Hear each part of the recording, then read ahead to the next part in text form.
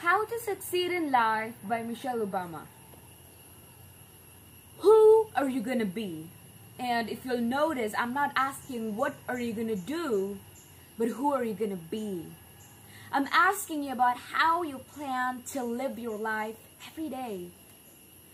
How are you gonna respond when you don't get that job you had your heart set on? For all of you who are going to be teachers, what are you going to do if the students in your class next year just don't respond to your lessons? For all of you going into business, how will you react when your boss gives you an a goal that feels way too high? See, these are the moments that define us. Not the day you get the promotion, not the day you win Teacher of the Year, but the times that force you to claw and scratch and fight just to get through the day. The moments when you get knocked down and you're wondering whether it's even worth it to get back up. See, those are the times when you gotta ask yourself, who am I gonna be? And I wanna be clear, this isn't just some vague platitude about building character. In recent years, we've actually been seeing a growing body of research that shows that skills like resilience and conscientiousness can be just as important to your success as your test scores or even your IQ. For instance, West Point cadets who scored high on things like grit and determination were more likely to complete basic training than those who ranked high on things like class ranks, SAT scores, and physical fitness.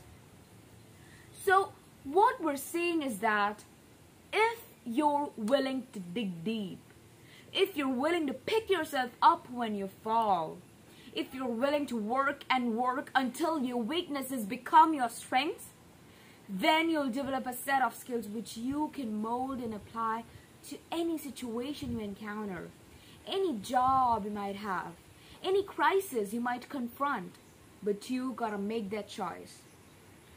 And let me just share just a little secret before I end.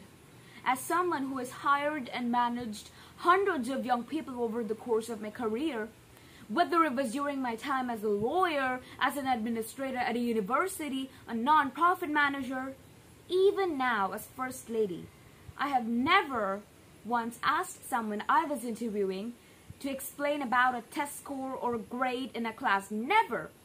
I have never once made a hire just because someone went to an Ivy League school instead of a state school. Never. But what I have looked for is what kind of person you are. Are you a hard worker?